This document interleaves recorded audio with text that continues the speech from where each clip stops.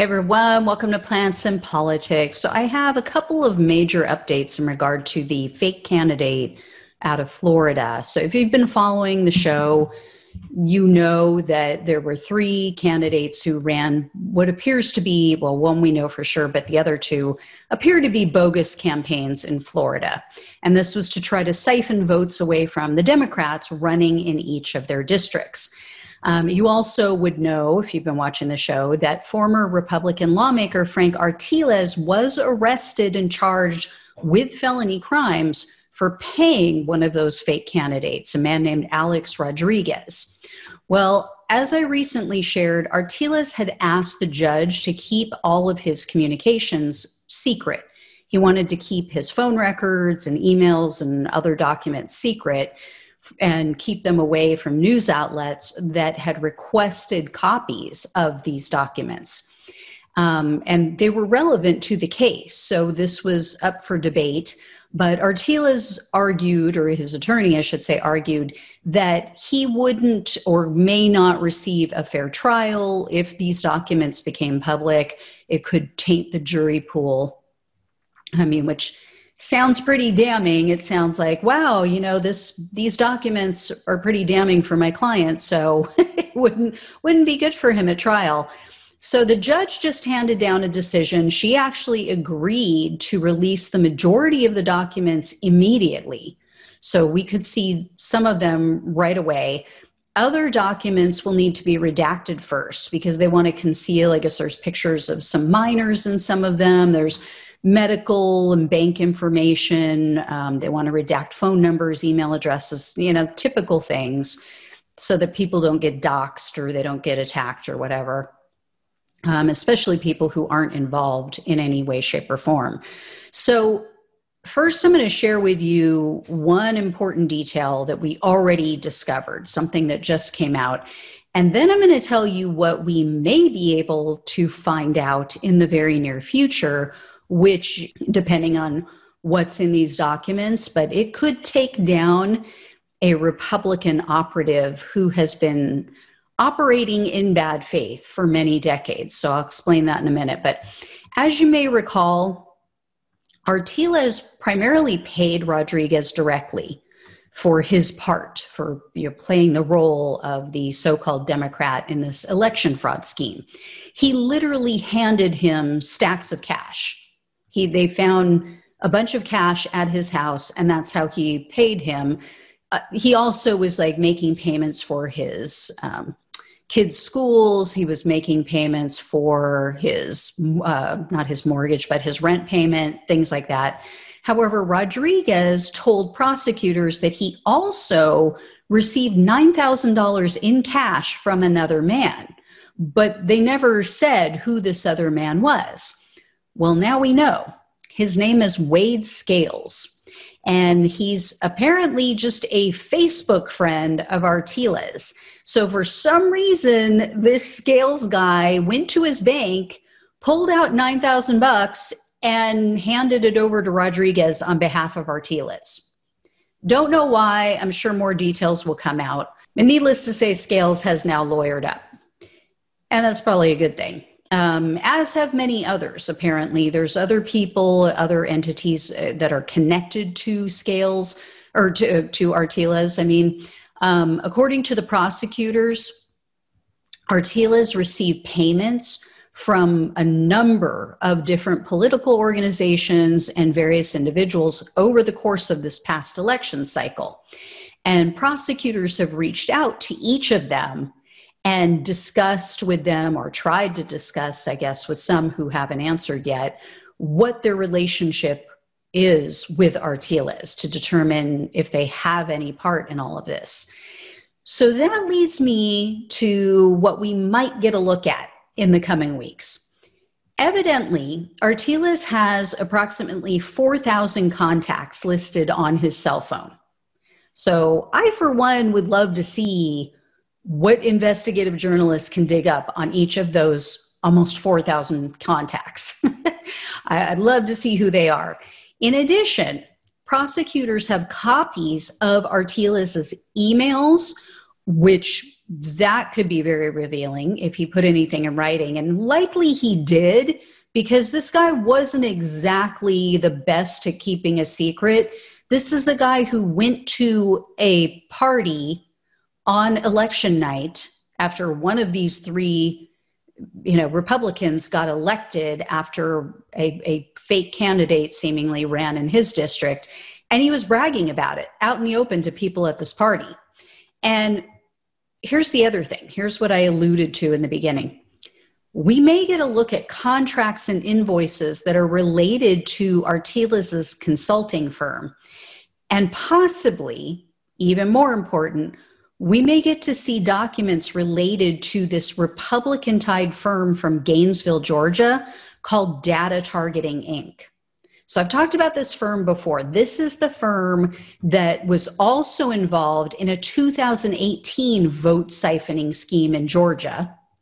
And this is the same firm that was found guilty in a Republican gerrymandering case. So in 2013, the League of Women Voters filed a lawsuit over unfair redistricting practices that took place in 2012. They allege that, as always, Republican controlled legislatures, which are responsible for drawing all the new district maps, they drew new district boundaries in a way that would benefit Republican candidates and undermine and unfairly target Democrat candidates.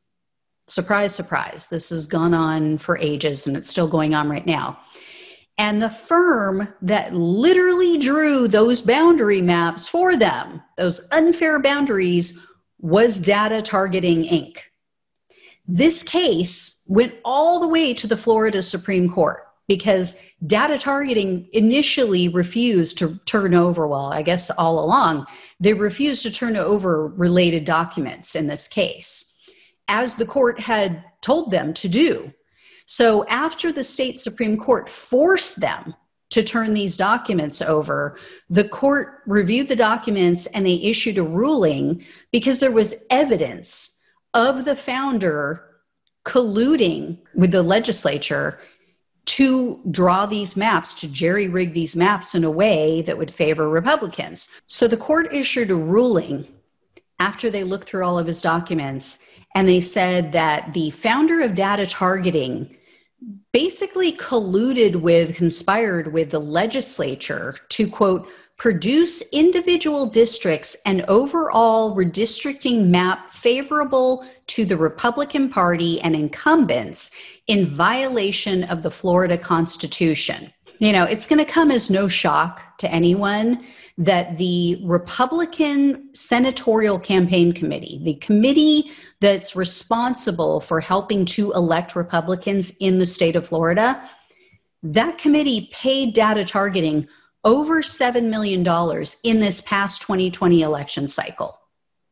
So here's the deal, and here's a little more detail about this seemingly underhanded and potentially criminal firm data targeting.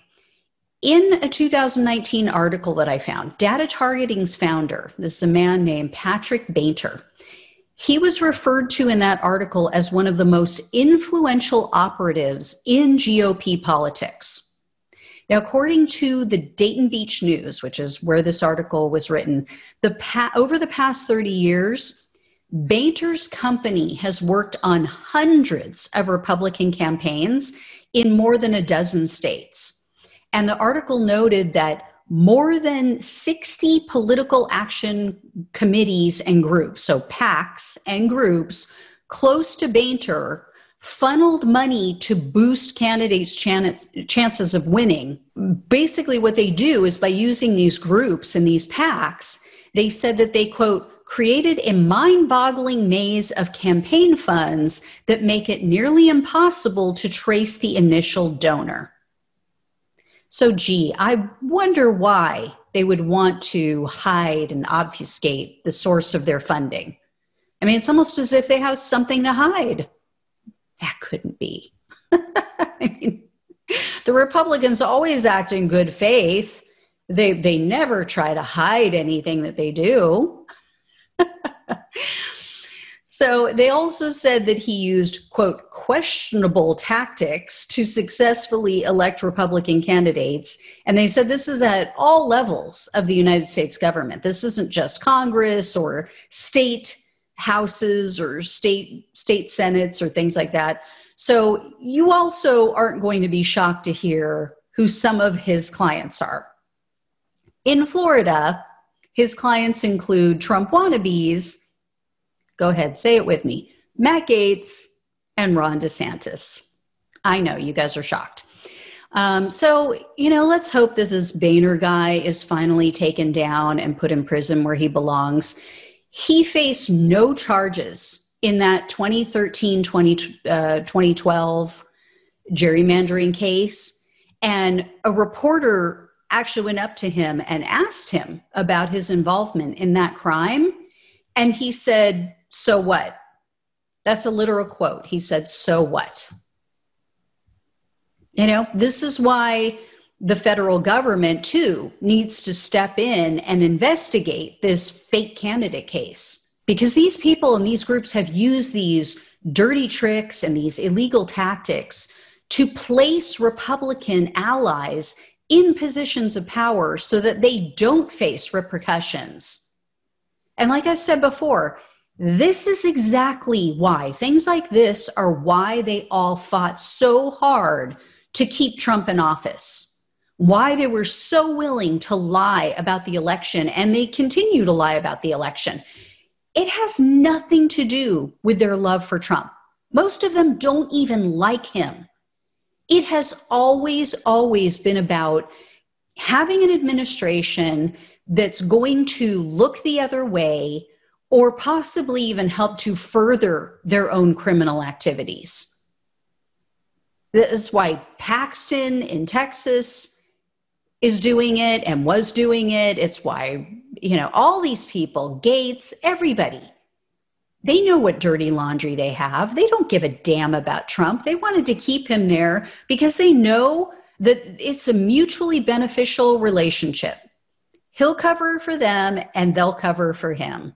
I just hope they take this company down and these people. This has got to end. This guy has gotten away with all of these games, with these literally, you know, thumbing his nose at the law